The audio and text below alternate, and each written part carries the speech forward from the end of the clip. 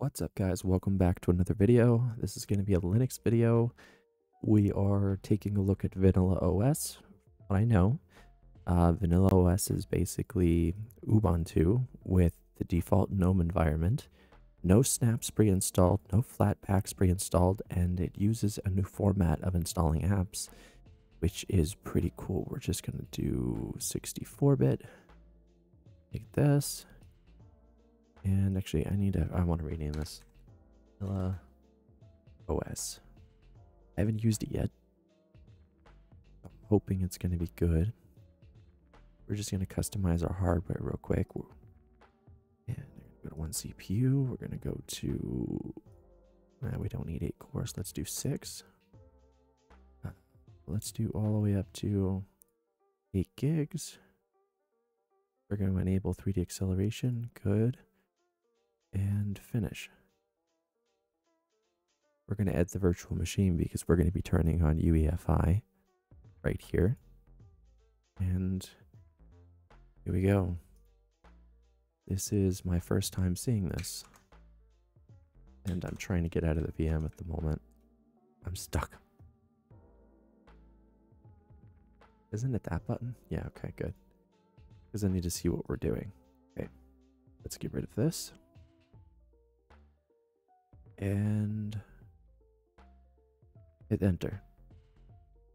Now, I'm going to be doing this pretty much on cut, so we're just going to go from install to desktop. Oh, that's a fancy little boot logo. Look at that. All right. So what do we got? This is based on 22.10 Ubuntu, by the way. Oh. Is this GNOME 43? Does this say? If you are reading this, you are probably a tester or a developer, so thank you for your interest in Vanilla OS. This is a beta version, I get that. No one issues, the installer may freeze, that's normal. That happens in Fedora as well. Ubuntu packages can't be installed from the GNOME software. That's fine. Uh, Vanilla OS running on your computer live or not. Blah, blah, blah, blah, blah. Okay. Well, that's pretty cool that they have that open let's get us some display because currently this is too small. So we're going to go all the way up to 1440p. There we go. That looks much better. So in appearances, oh, they weren't kidding when they said it would freeze. We're going to go with dark because I know you guys Look at the background. That's a nice background. I want to check the console version or the um, kernel version. Uh, they're still on 5.19.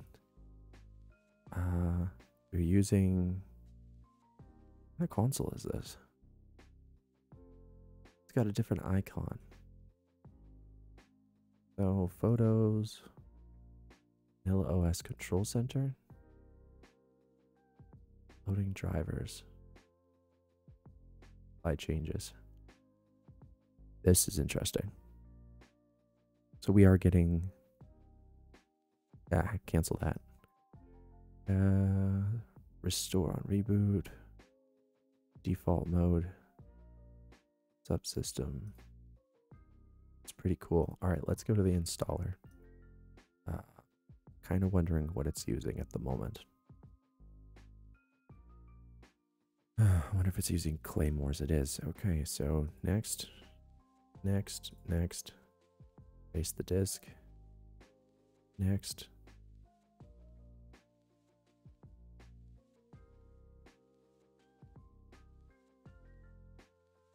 Yes. Done. Next. And install. Okay. Let's wait for this to finish installing and I'll be right back afterwards. Okay, so we're back and we're to hit done. Should be restarting. And we're just to hit this button. And yes, we're installed. Good. I don't know if it's automatically to install the open VMware tools, but if it does, that will be great. If it doesn't, we'll do that real quick and I'll restart. Yeah, it's telling us the same thing. Let's start. Dark, please. Flatpak, snap black, none. Mm-hmm. What is this? Apport is a crash. No, thank you. Enter our password. And we're not rebooting yet. I need to install open VM tools. We're going to be working with this. Now we will restart. See?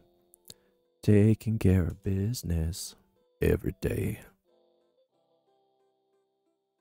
Alright, so it boots up properly. And once again, this horrible thing pops up. Animations are at least smooth within the VM. It comes with God itself.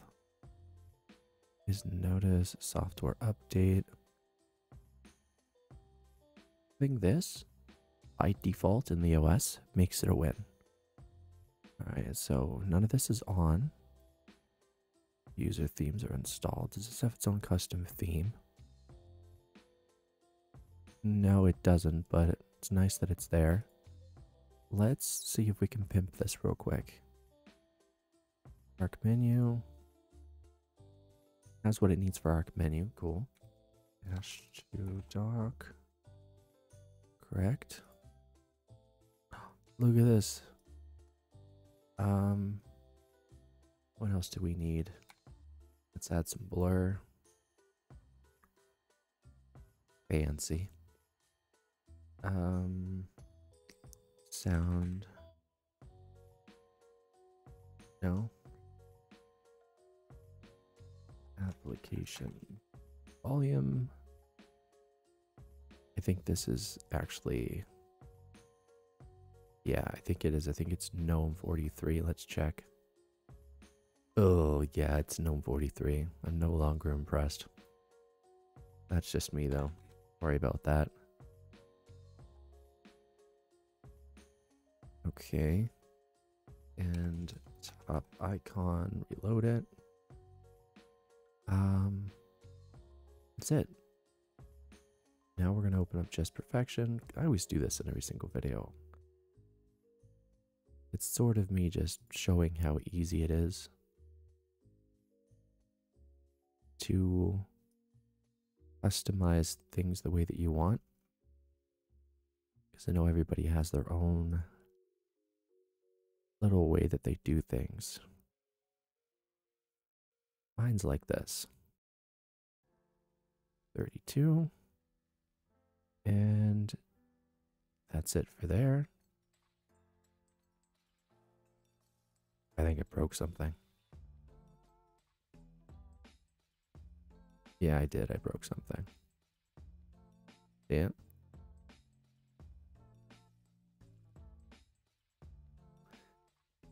I can fix this.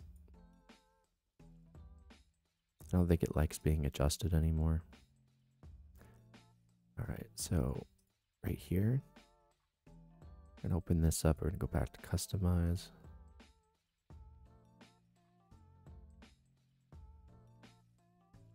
Oh, it's just this one. Okay, okay. That works for me. There we go. It's very clear that I could whore it out pretty quick. But I like calling it. Uh, browse icons, distro icons. There's no V. And I'm not using Ubuntu's. Because that would be a disgrace. Going with this one. It's not a V either. Hmm. there. Perfect. This looks great. All right, so sudo apt install Discord. Now it's not going to install Discord like that. Let's go grab the .deb. Discord dot. Um. Download for Linux. Uh, no, it doesn't want to open. Open with software install. Install. And it worked. Okay, so we have software install using GNOME. Uh, that should be automatically set to default. Don't get why it's not. Now it should be. It is good. I like this. This is pretty cool. I've already got it pimped out too, which makes me very happy. Now we're going to be trying this. Oof. Yeah, if yours does this, the brightness all the way up. You want to bring this down. You want to head over here. Set this to dark if you can. Might not work. But yeah. Usually how it does it. And if it's still too light for you, you can always go uh, into here in appearance and just do that, I guess.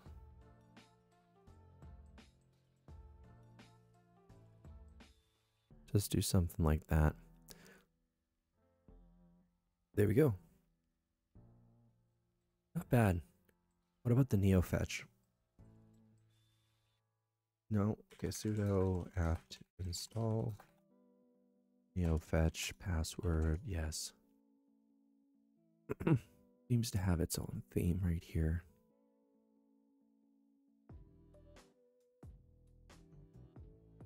Uh, that's cool.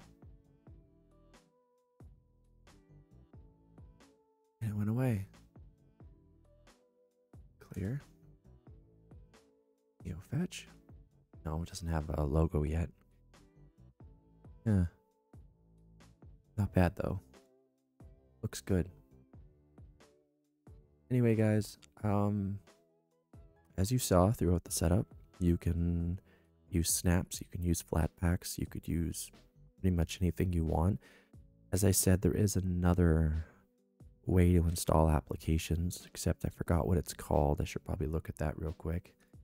I do have it. I had it here. History. Aha. Here we are. Go to OS. Build locally. It's not it. There's a website here, I think. There it is. So you can get access. What is it? Uh, Vanilla OS is an Ubuntu Linux based point release distributed that receives updates at the right time, neither before or nor after. With you know doing a bunch of stuff for functionality. There's work. Uh, there's gaming, even though there's no gaming oriented drivers like or gaming oriented kernels. We could do that with XanMod. Really, that's not complete. Jinx isn't here. Choice. So Flatpak, snap packed image. And I forget what the other one was. Immutable, but not also. So it's read only to prevent unwanted changes and corrupted from third party applications. So maybe it will prevent. Oh, look at that. APX install. Okay. All right, let's try that. Ready? APX install Discord. Hmm.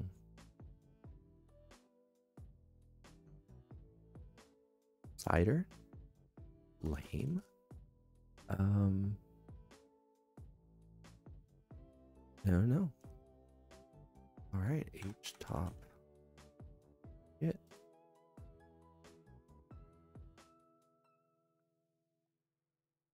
That it did that.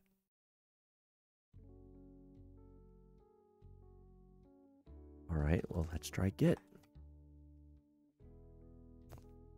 Okay, maybe they'll get that working in the future. Free and open source and frequently asked questions. So I'm going to leave their Discord in the description below as well as the website. You guys can go check it out, but uh, I'll have to do some more testing on this, but this seems to be really nice so far. I mean, it's got its own driver control center, which is pretty cool. And, you know, you can choose read only mode and turn that off if you wanted to, subsystem installed applications. Doesn't come with Firefox or Google, so it hasn't made a choice yet. Not a bad little operating system. And it's so bare bones. Look at this. What about this? Yeah. Not bad. Anyway, hit the like button, subscribe, share all that stuff, you know, and I'll see you guys next time.